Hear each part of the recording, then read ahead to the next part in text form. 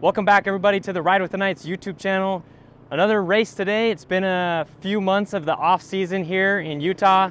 Summertime, we haven't been racing very much and I've been in trail riding mode, but today we're actually in Cedar City and getting ready to compete in the Jackrabbits off-road race today. It's the Battle of the Borders presented by the Jackrabbits Motorcycle Club.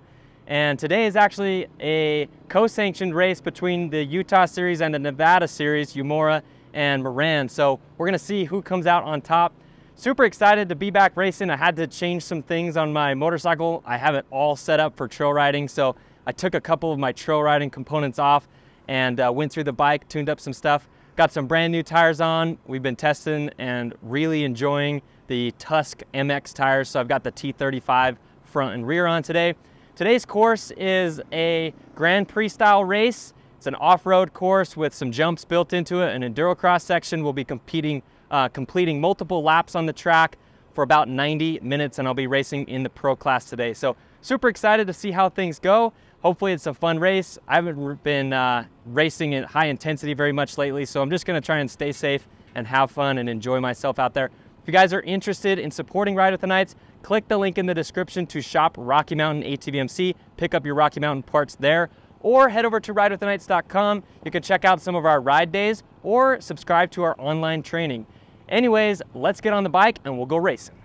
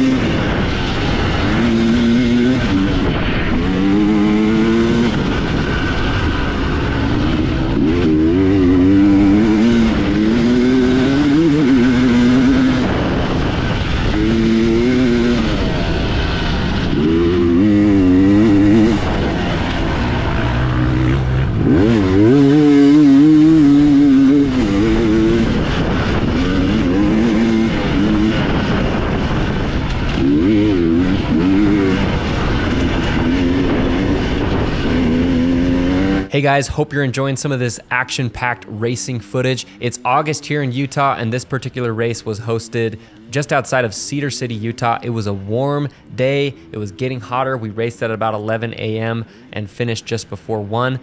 I've been wearing the MSR NXT gear all year, and they actually have an Air Edition. So they got all these cool color schemes in their Air Edition, which is their lightweight summer gear. The jersey and all the gear is perforated throughout, it allows for a lot more airflow. And I've got to give some credit to this gear because I didn't overheat. I was warm, but I felt good. I rode strong all the way to the end of the day. I got to give some credit to this gear. It's helping me stay cool even during these hot events. If you're interested, this is really affordable gear. Head over, use our link to shop Rocky Mountain. Get yourself a set of this NXT Air gear. Try it out. Let me know what you think. I really enjoy it.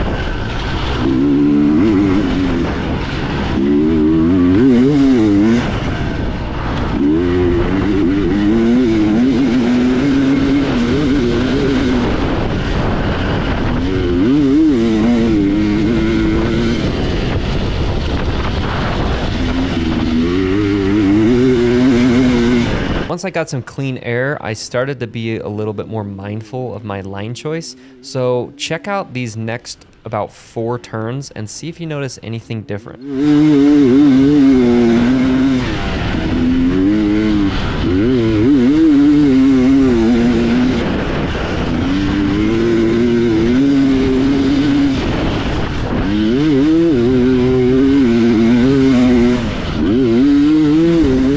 It's a really subtle change, but all I started doing was entering the turn a little bit wider and taking the outside almost all the way through the turn. What this allowed me to do was start to turn the bike before I got in the really soft part of the turn and carry a lot more momentum through the corners and started linking these all together.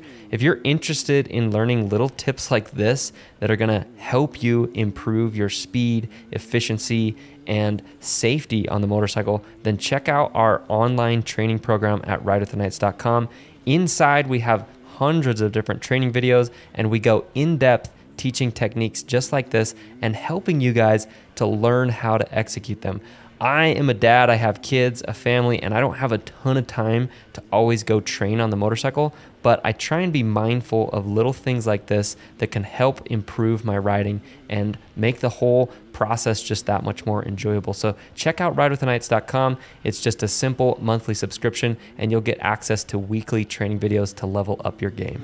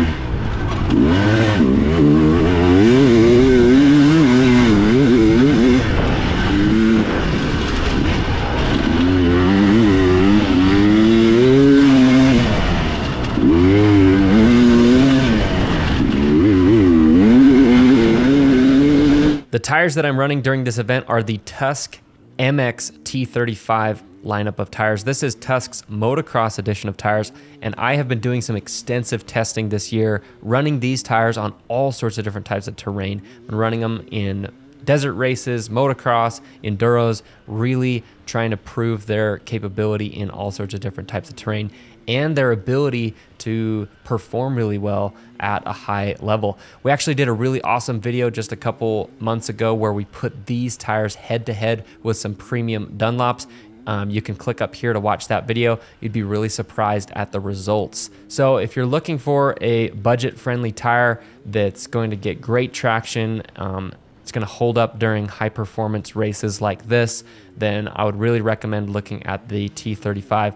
Um, Tusk has a lot of different tires, a lot of different options. They have some other ones out there.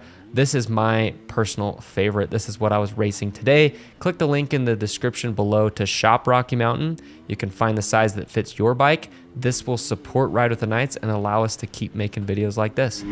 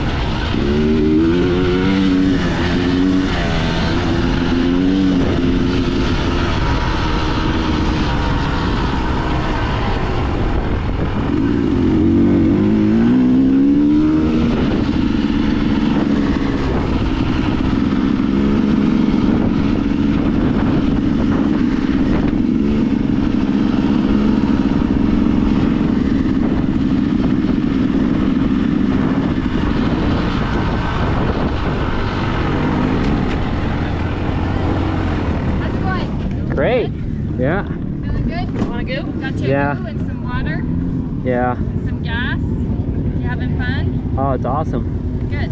You guys are doing awesome in the enduro cross section. Yeah, it's fun. Okay, you're close, you're close, you're close, and you're full.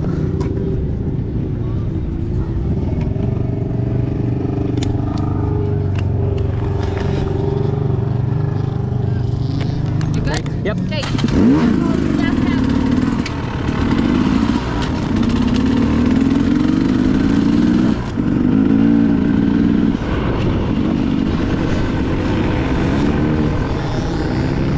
Just mark my fender. Mark my fender. Thanks.